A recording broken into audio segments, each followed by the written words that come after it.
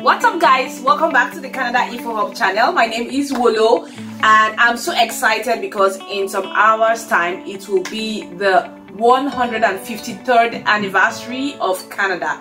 Yes, Canada is 153 years old. Yeah! I'm so excited because I'm gonna go out. Yes, and I am wearing my Canada Proud. Yes, I think it's Canada Proud t-shirt. Yes, I am proud of living in Canada.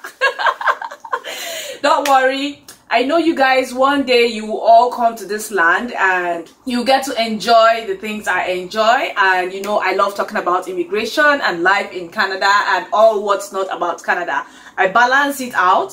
Sometimes I show you the bad side of Canada and also tell you the good side of Canada as well. So if this is the first time you actually seen this video, just you know click on the subscribe button. I mean let's get this channel to 50,000 please try let's push the channel to 50,000 I have done several videos. I am thankful for all of you guys. Even today there was a good news that um, came up. The IRCC are now processing um, visitors visa to Canada. So if you are interested in visiting Canada you can now apply for your visiting visa.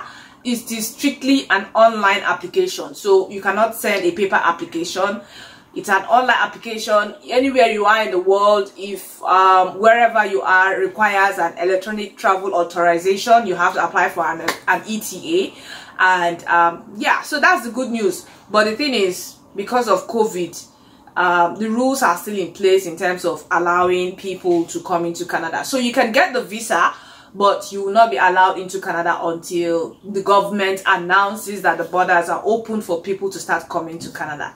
So that's good news. Yes. So if you want to apply for a visiting visa, go ahead and apply. But of course, you know you have to meet the requirements. I've done a video on um, visitors visa, work permit, permanent resident. I think I'll put the link in the description box of this video so that you can look at it very well. Watch the video and then assess yourself. And for those who want to come to Canada as visitors and do not really have the necessary documentation, I mean, don't waste your time applying for visiting visa. It's just a waste of time because if they look at these things and you do not really qualify or you're not really eligible and they feel that you if you come to Canada you will not be able to return back to your country they will not grant you the visa. So that's one information there. This second part of the video is um, dedicated to people who are 40 years and above I've already done a video for people who are 35 years on how they can immigrate, how they can increase their comprehensive ranking score. I'll also put the link of the video in the description box of this particular video. So if you know you're 35 years and above, I recommend you watch that video. Anyway, in summary, I was actually talking about um, people learning French so that they can improve their scores and people um, writing the IELTS exam, getting the highest band so that they can improve their scores and be eligible for provincial nominations.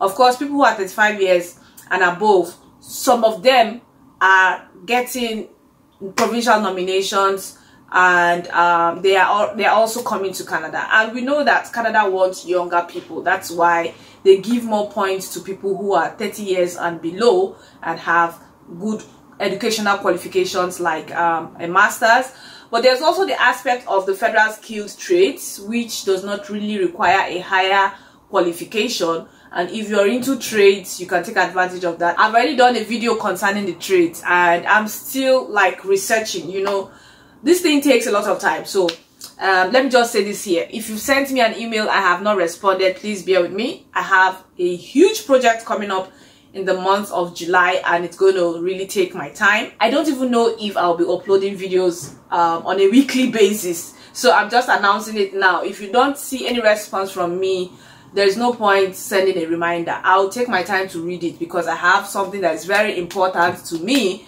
and I need to focus on that. Anyway, so back to what I was saying. So today's video is about people who are 40 years and above and are looking to immigrate to Canada and uh, no thanks to the way the system is built because it is trying to favor younger people who will have a longer time in the workforce compared to people who are closer to their retirement.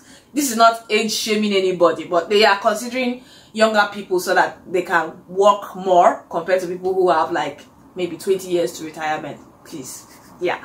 Anyway, So this video is for people who want to come to Canada and are 40 years old and are finding it difficult to like get the required scores for express entry and also for provincial nomination. Of course, you know provincial nomination is also competitive and they have their own um, requirements. Each province is unique. For Manitoba, it's quite easy. If you have a sibling who is living in Manitoba, anybody who is 40 years and above can still immigrate. For someone to get the highest points for age in Manitoba is from 19 to 45 years old. Yes, it's it's that long, so they get the highest points and they are able to immigrate, especially if they have a sibling or a cousin or um, I, I don't want to use the word friend because I know that since for the last two years it's been difficult for friends to actually get a nomination from Manitoba. What I would encourage anybody who is 40 years and above to do is to um, talk to their younger ones. If you have a younger sibling who is 30 years and below, and the younger sibling has a master's degree, encourage that person to immigrate to Canada using the Federal Express Entry Federal Skilled Workers Program. You know, for such group of people, they can live anywhere in Canada except Quebec. So once they immigrate to Canada, they should just land directly in Manitoba and it's better to even live in maybe any of the communities that is outside Winnipeg so that you can get more points. So once your younger sibling lives in Manitoba for one year, the younger sibling will be eligible to support your application even if you're 40 years 45 years as long as your occupation is in demand. And then uh, you'll be able to get a provincial nomination and come into canada. And that is what i actually did. I saw different provinces but i decided to choose to come to manitoba because of the advantage it has in supporting family members application so if you have a cousin uh, that is younger and the person is already preparing to come to Canada, just encourage your cousin to land in Manitoba instead of landing in Ontario or Alberta as long as it is not a provincial nomination. If it is just the federal express entry, tell the person to land in Manitoba first and then spend one year. You should be getting support from that family member and um, that will help you immigrate to Canada. This is what some other persons have done. Um, for people who have lived in Canada for some years, they just saw that um, living in Ontario, living in Vancouver is not helping them bring their siblings to Canada and they decided to just come to live in Manitoba for a while just to give them that advantage of supporting the application of their siblings or their family members. So that's a tip there. If you do not have a younger sibling, look for a younger cousin. Look for at least one family member of yours that is younger and has a master's degree and encourage the person. You know, that one person alone can bring in like 20 people or 30 people at once if as long as the person is living in Manitoba. The second way of immigrating for people who are 40 years and above is through education. Now, I men I'm mentioning education because I know that there are lots of people who have immigrated to Canada using this way of coming into Canada. And um, these people have really established themselves back in their home country and they have enough um, reasons to show that they can return back to their home country. I'll give a typical example. So my friend um, immigrated last year and this year will be her first year anniversary in Canada. I think June this month will be her first year anniversary in Canada. Uh, back home, she was a baker. She already had a master's, but she decided to start a side hustle. So she was a baker, she was also working, and then she was trying to grow her side hustle in baking. And she had this um, Instagram page and also the website to showcase the kind of crafts she has done with her baking. And when she applied for a study visa to come and you know, fine tune her craft in baking. She got the visa last, she got the visa in, yeah, she got the visa last year and she landed June last year. So that's one typical example. She also was a member of an international baking association.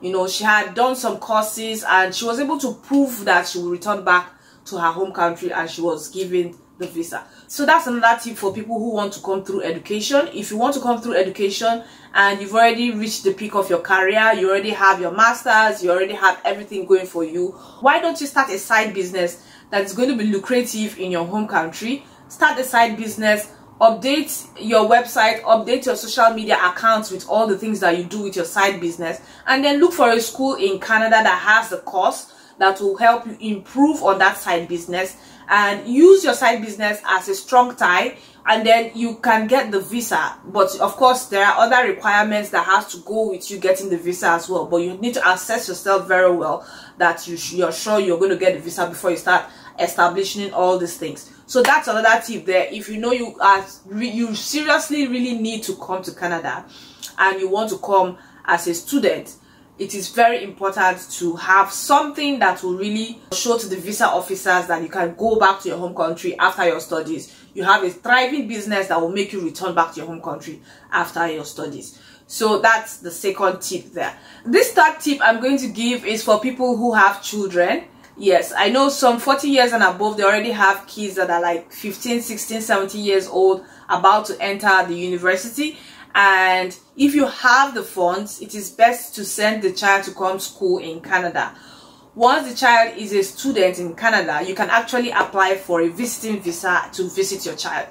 And once you come as a visitor to visit your child you use the opportunity to network and then search for job opportunities uh, that can give you a work permit. Once you do that and you get a work permit you can use that as an opportunity to you know stay in canada work in canada for one year after one year you're now eligible for the canadian experience class. So that's a tip there that i've given to people and i know so many people do that. They actually send their younger children to come school in canada and then apply to come visit their children. If you do not want to go through the route of visiting your child in canada um, you just have to wait for a longer period. Yes you just have to wait because this pathway is actually very long you have to wait for your child to graduate from the university and your child has to start working first and then can be eligible to sponsor you as a parent to Canada under the parent and grandparent sponsorship.